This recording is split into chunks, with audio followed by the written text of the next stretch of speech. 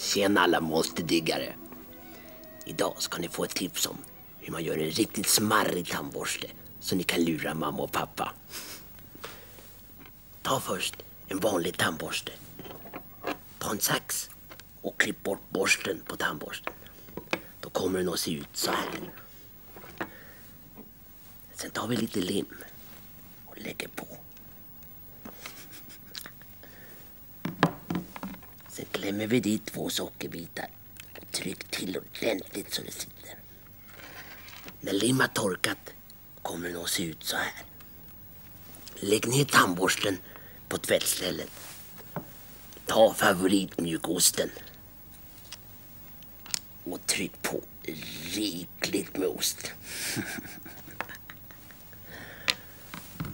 För att få det extra smarrigt så tar vi toppar med lite tårtpynt.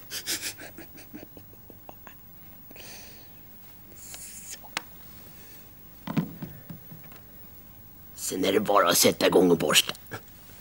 För att få det extra godis så skölj ner med lite härlig sockerdricka.